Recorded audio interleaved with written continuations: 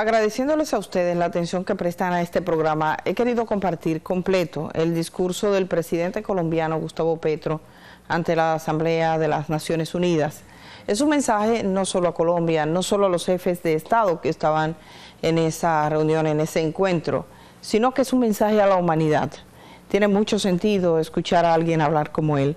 Así que les voy a dejar con Gustavo Petro y su discurso ante la Asamblea General de las Naciones Unidas. Adelante, señor director. Vengo de uno de los tres países más bellos de la Tierra. Allí hay una explosión de vida, miles de especies multicolores en los mares, en los cielos, en las tierras. Vengo de la tierra de las mariposas amarillas y de la magia. Allí en las montañas y valles de todos los verdes, no solo bajan las aguas abundantes, bajen también los torrentes de la sangre. Vengo de un país de belleza ensangrentada. Mi país no solo es bello, allí también hay violencia. No, ¿cómo puede conjugarse la violencia con la muerte? ¿Cómo puede erupcionar la biodiversidad de la vida con las danzas de la muerte y el horror? ¿Quién es el culpable de romper el encanto con el terror? ¿A quién o qué es el responsable de ahogar la vida en las decisiones rutinarias de la riqueza y del interés? ¿Quién nos lleva a la destrucción como nación y como pueblo? Mi país es bello porque tiene la selva amazónica, la del Chocó, las aguas, las cordilleras de los Andes y los océanos.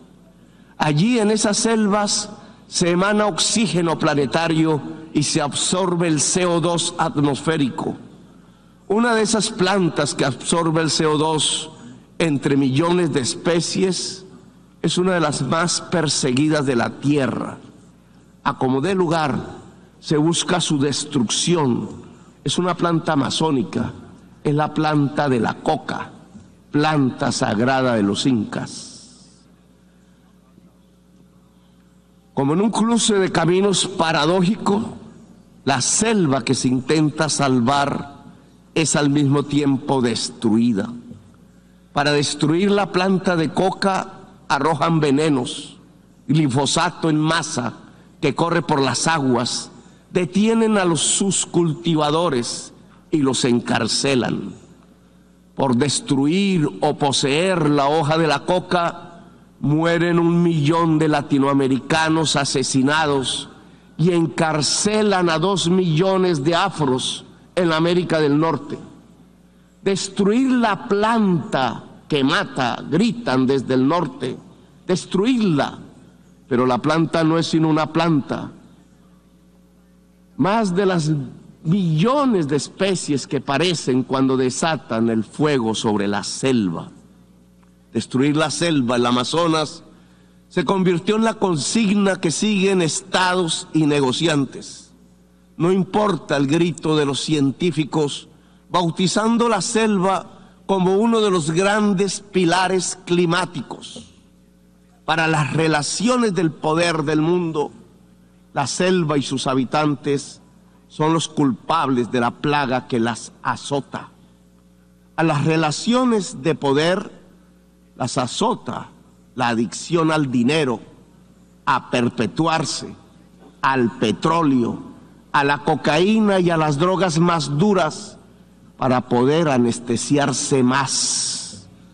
Nada más hipócrita que el discurso para salvar la selva. La selva se quema, señores, mientras ustedes hacen la guerra y juegan con ella. La selva, el pilar climático del mundo, desaparece con toda su vida. La gran esponja que absorbe el CO2 planetario se evapora la selva salvadora es vista en mi país como el enemigo a derrotar, como la maleza a extinguir. El espacio de la coca y de los campesinos que la cultivan, porque no tienen más que cultivar, es demonizado. Para ustedes, mi país no les interesa sino para arrojarle venenos a sus selvas, llevarse a sus hombres a la cárcel y arrojar a sus mujeres a la exclusión. No les interesa la educación del niño, sino matarle su selva y extraer el carbón y el petróleo de sus entrañas. La esponja que absorbe los venenos no sirve. Prefieren arrojarle más venenos a la atmósfera. Nosotros les servimos para excusar los vacíos y las soledades de su propia sociedad, que la llevan a vivir en medio de las burbujas de las drogas. Les ocultamos sus problemas que se niegan a reformar. Mejor es declararle la guerra a la selva, a sus plantas, a sus gentes, mientras dejan quemar las selvas mientras hipócritas persiguen las plantas con venenos para ocultar los desastres de su propia sociedad, nos piden más y más carbón, más y más petróleo para calmar la otra adicción, la del consumo, la del poder, la del dinero. ¿Qué es más venenoso para el ser humano? La cocaína o el carbón o el petróleo. El dictamen del poder ha ordenado que la cocaína es el veneno y debe ser perseguida. Así ella solo cause mínimas muertes por sobredosis y más por las mezclas que provoca su clandestinidad dictaminada. Pero en cambio el carbón y el petróleo deben ser protegidos así su uso pueda extinguir a toda, a toda la humanidad. Estas son las cosas del poder mundial, cosas de la injusticia, cosas de la irracionalidad, porque el poder mundial se ha vuelto irracional.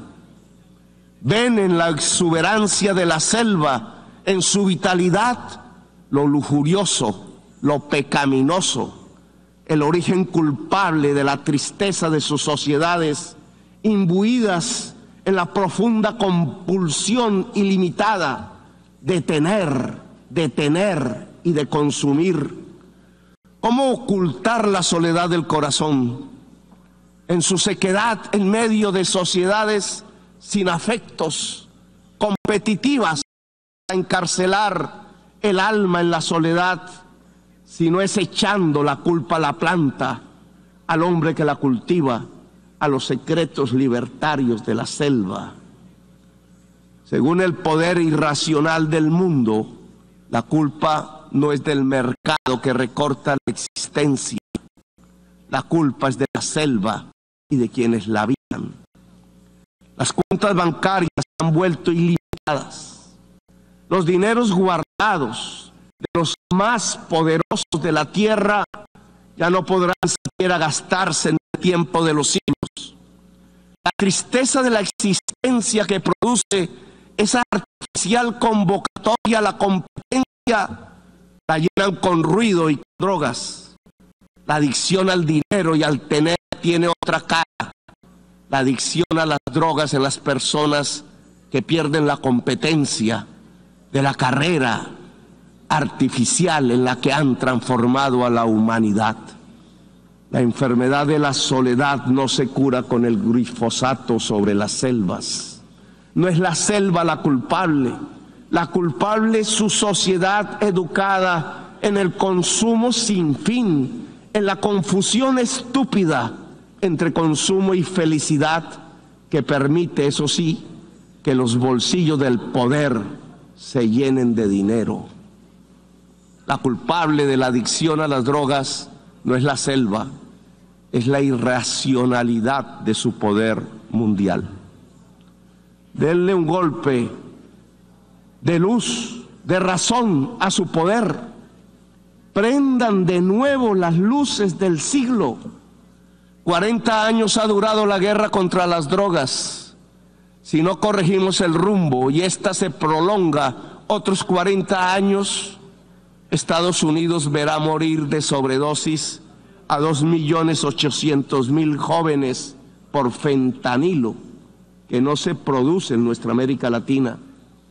Verá millones de afros norteamericanos ser apresados en sus cárceles privadas. El afro preso se convertirá en negocio de empresas carceleras. Morirán asesinados un millón de latinoamericanos más. Nos llenarán, llenarán de sangre nuestras aguas y nuestros campos verdes. Verán morir el sueño de la democracia, tanto en mi América como en la América anglosajona. La democracia morirá allí donde nació, en la gran Atenas occidental europea. Por ocultar la verdad, verán morir la selva y las democracias. La guerra contra las drogas ha fracasado. La lucha contra la crisis climática ha fracasado. Han aumentado los consumos mortales de drogas suaves, han pasado a las más duras. Se ha producido un genocidio en mi continente y en mi país han condenado a las cárceles a millones de personas para ocultar sus propias culpas sociales. Le han echado la culpa a la selva y sus plantas. Han llenado de sin razón los discursos y las políticas yo les demando desde aquí, desde mi Latinoamérica herida, acabar con la irracional guerra contra las drogas.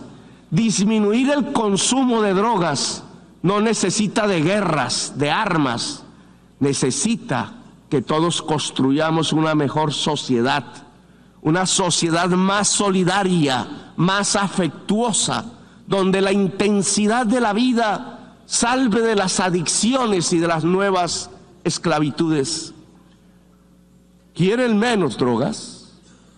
Piensen en menos ganancias y en más amores. ¿Para qué la guerra si lo que necesitamos es salvar la especie humana? ¿Para qué sirve la OTAN y los imperios si lo que viene es el fin de la inteligencia? El desastre climático matará centenares de millones de personas y oigan bien, no lo produce el planeta, lo produce el capital.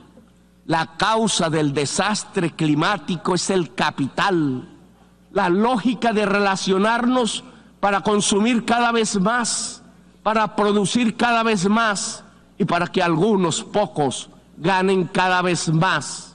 Es eso lo que produce el desastre climático le articularon a la lógica de la, la acumulación ampliada del capital los motores energéticos del carbón y del petróleo y desataron el huracán, el cambio químico de la atmósfera cada vez más profundo y mortífero. Ahora en un mundo paralelo, la acumulación ampliada del capital es una acumulación ampliada de la muerte desde las tierras de la selva y la belleza, allí donde decidieron hacer de una planta selvática amazónica un enemigo, extraditar y encarcelar a sus cultivadores, les invito a detener la guerra y a detener el desastre climático. Aquí en esta selva amazónica hay un fracaso de la humanidad. Tras las hogueras que la queman, tras su envenenamiento hay un fracaso integral, civilizatorio de la humanidad. Detrás de la adicción a la cocaína y a las drogas, detrás de la adicción al petróleo y al carbón, está la verdadera adicción de esta fase de la historia humana, la adicción al poder irracional, a la ganancia y al dinero. He aquí la enorme maquinaria mortal que puede extinguir la humanidad. Les propongo como presidente de uno de los países más hermosos de la tierra y de los, y de los más ensangrentados y violentados acabar la guerra contra las drogas y todas las guerras y permitir que nuestro pueblo pueda vivir en paz. Convoco a toda América Latina en este propósito Convoco la voz de Latinoamérica a unirse para derrotar lo irracional que martiriza nuestro cuerpo. Los convoco a salvar la selva amazónica integralmente con los recursos que puedan destinarse mundialmente a la vida.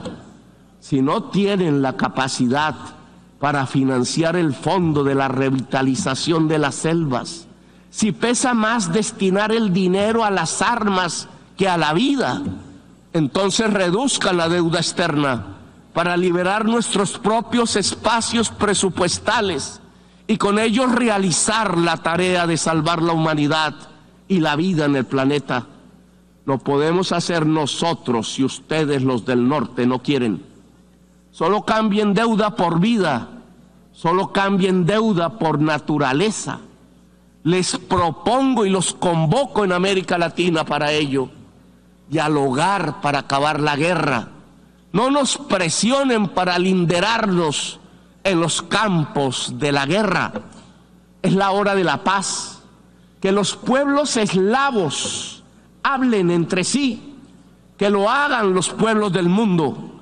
La guerra es solo una trampa que acerca el fin de los tiempos en la gran orgía de la irracionalidad. Desde América Latina convocamos a Ucrania y Rusia a hacer la paz.